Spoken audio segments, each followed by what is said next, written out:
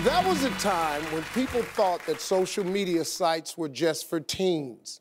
But these days, moms, even grandmas, are active on these sites.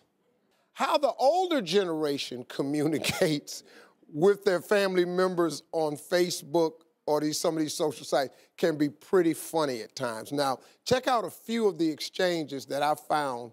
Okay, here's one. The son status reads, my doctor suggested that I engage in sexual intercourse to help my sleeping problems. Any takers? He gets a response, no. so he wrote back, well, mom, obviously I wasn't asking you.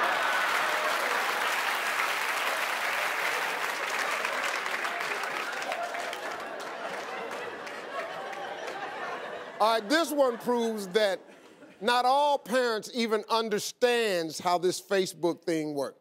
Okay, the dad post where to buy chicken casserole supplies. So his son posts, Dad, this is not Google. Try again. So his dad writes back, where to buy chicken casserole supplies. So the son writes, WTH, are you serious? So dad types in, chicken casserole supply store?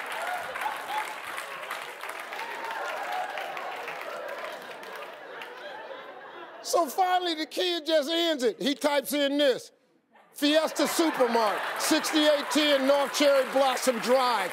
You're an idiot, Dad. Come on. Hey, folks, that's the show for today. I hope you had a good time. I know I sure did. We'll see you again.